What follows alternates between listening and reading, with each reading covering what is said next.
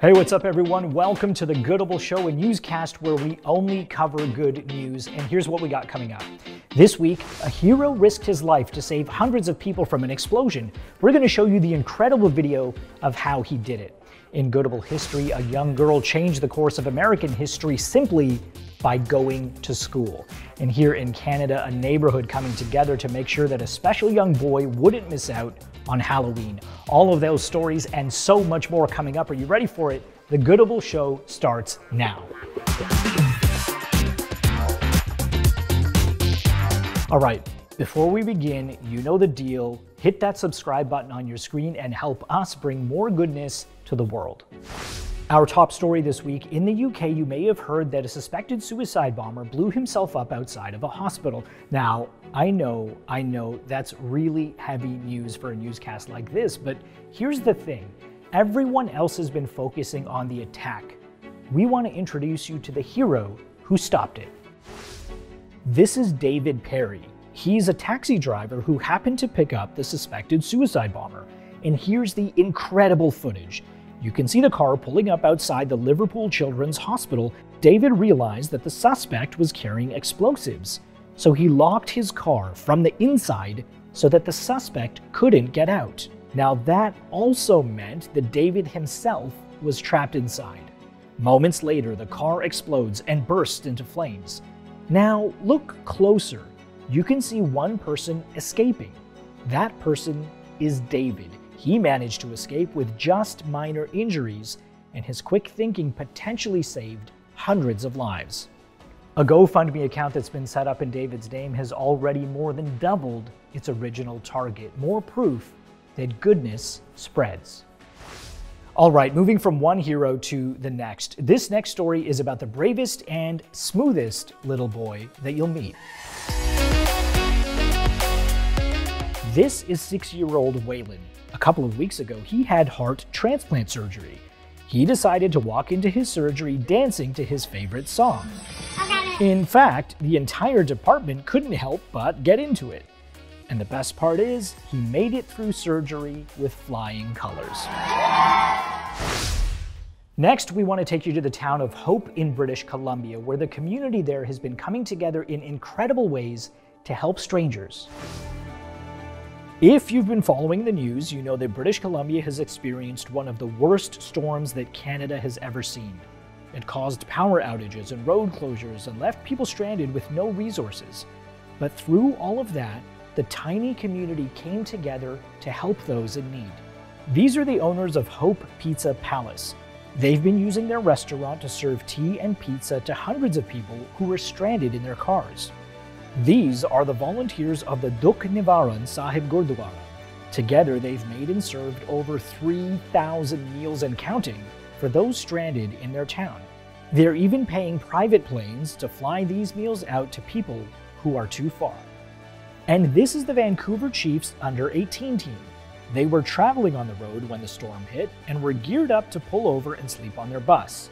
When one of the players' uncles found out, he opened the doors of his home to the entire team. Next, we want to talk to you about a teenager who made headlines across America and changed the country this week forever. No, it's not that story that everybody else is talking about. This teenager did something incredible. This is Abraham Olagbegi. He was born with a rare blood disorder, and this year he received a life saving bone marrow transplant. That qualified him for a wish through the Make a Wish Foundation. Instead of asking for something for himself, he wanted to help others, so he asked if he could feed the homeless for an entire year. This is what he and his family told CBS News. When the homeless people get to play, some of them will come back and like sing to us and thank us, and it just really feels good. It warms our heart. The, it just really feels good and my parents always taught us that it's a blessing to be a blessing. Now, once a month in Jackson, Mississippi, he heads out with a group of volunteers and together they feed 80 people who are homeless. And when the year is over, Abraham says he already has plans to turn the initiative into a charity. He says he's planning to call it Abraham's Table. Meanwhile, in news that's literally out of this world, NASA has announced that Jessica Watkins is going to be the first black woman ever to be part of the crew of the International Space Station. Watkins started as an intern at NASA, but she's also studied at Stanford, has a PhD, was an aquanaut, and even played international rugby. Oh, and that sound that you hear? That's the sound of a glass ceiling shattering in outer space. In track and field, a world record was set this week when a woman ran the 100 meter dash in just over a minute. Now, that really wouldn't be making headlines, except in this case, the woman was 105 years old. All right, here we go, here we go. This is Julia Hawkins taking off from the starting line. In front of a cheering crowd, she sprinted as fast as she could, setting a new world record for her age category, crossing the finish line and offering this reaction. I'm so happy.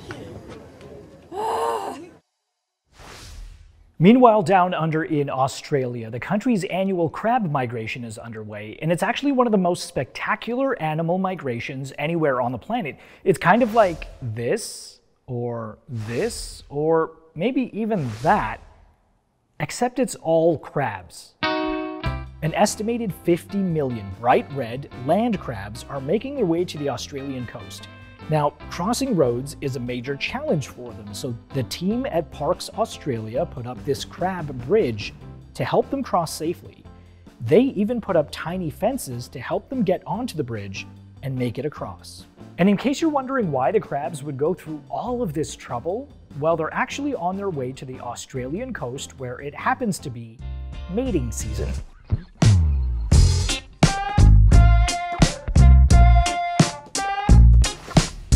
Okay, get your buzzers ready. We're going to introduce this next story in a format that you might be familiar with. The answer is this beloved actor helped millions of children to read before he was turned down as the new host of Jeopardy!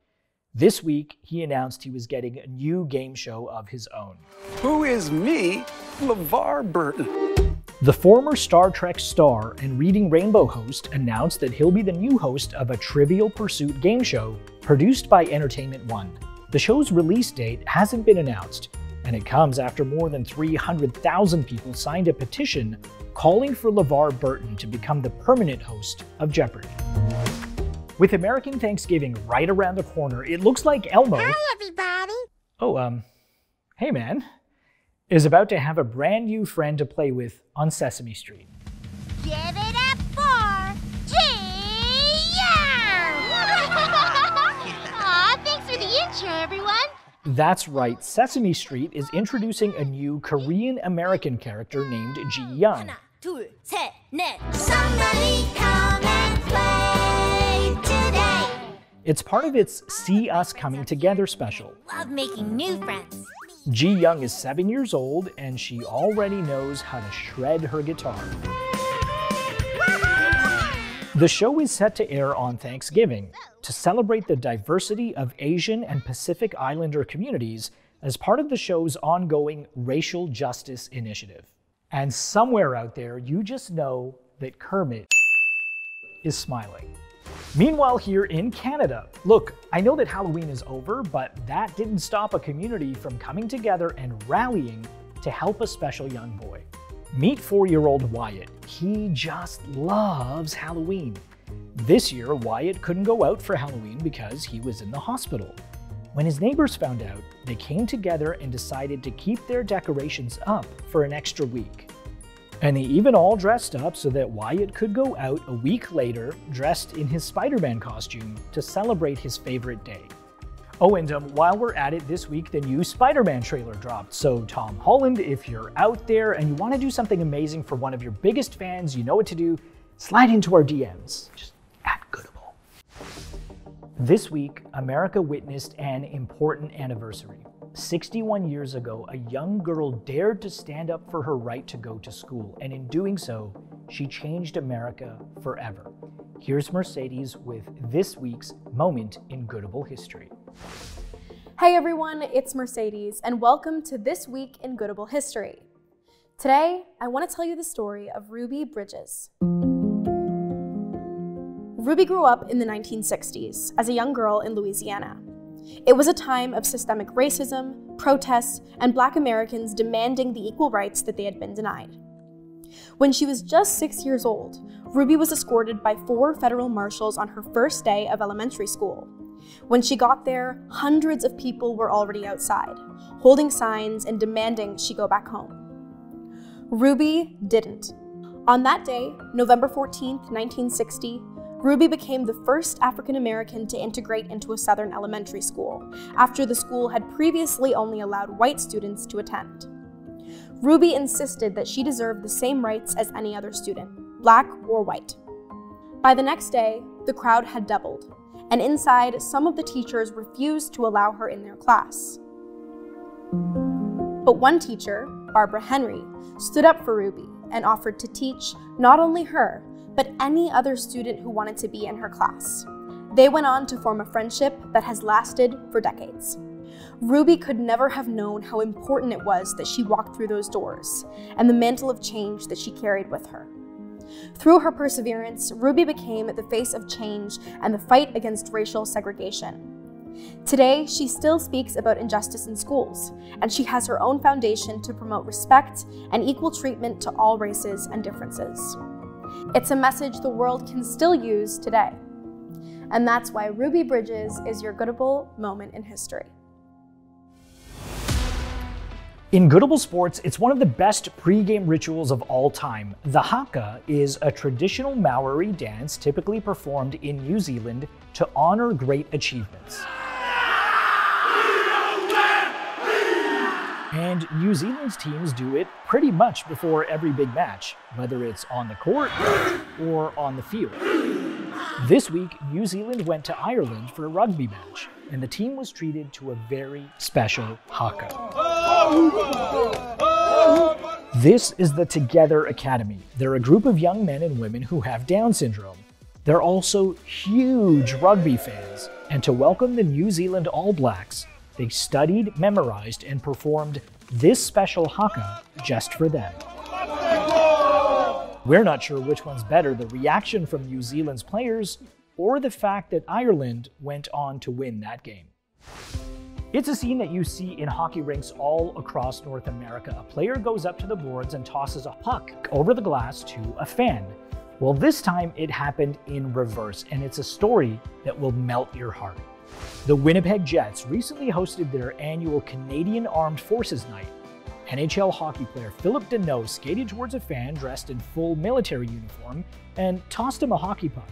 It was a way to say thank you, but the veteran exchanged the puck for a military patch. After tossing the patch over the glass, Danault placed the patch on his heart and posed for pictures. While we're on the subject of hockey, Kirsten Welsh recently made history as the first woman to ever officiate a game for the Ontario Hockey League. She joins the ranks of women breaking barriers in hockey, including Katie Guay, who became the first woman to officiate an American Hockey League game earlier this year. A reminder to young girls everywhere that glass ceilings are meant to be broken. Hey, what's up, everyone? Mercedes here to chat with this week's Goodable hero. This is Norman Greenstein. He's a 65 year old veteran and social worker. 13 years ago, Norman was diagnosed with Parkinson's, a nervous degenerative disorder that affects movement. In high school, he loved to draw, but was told that he'd never make it as an artist, so he didn't pursue it as a career. But after his diagnosis, knowing that soon he might not be able to paint, he decided to pursue the dream he left behind all those years ago. Now, even with Parkinson's, he paints to raise awareness about the disease and raise money for research. Today, we're chatting with Norman about his journey and about how art has changed his life. Thank you so much, Norman, for chatting with us today. We are so excited to hear about your story from your own words. How has your life changed since you got back into painting? Uh, I used to walk by galleries and look in the window and think to myself, gee, that's a nice painting. I could do something similar to that. But I didn't try. And once I tried, some of the times I did do paintings that were worthy of my th- earlier thought. I've been doing a lot of painting, and my theory is that I may not be able to paint forever. So I paint as much as I can while I can. I produce a lot of artwork. The walls in my house are all full of. I had better start selling some pieces because I don't have room to store them anymore. 10% goes to Michael J. Fox Foundation and 10% to American Parkinson's Disease Association. That's wonderful. That's so great that you're able to use your passion to to help out others that are just experiencing the, the, same life as you. And finally, what is your message to those out there who are too afraid to follow their dreams? Don't give up. Follow the dream. Do it.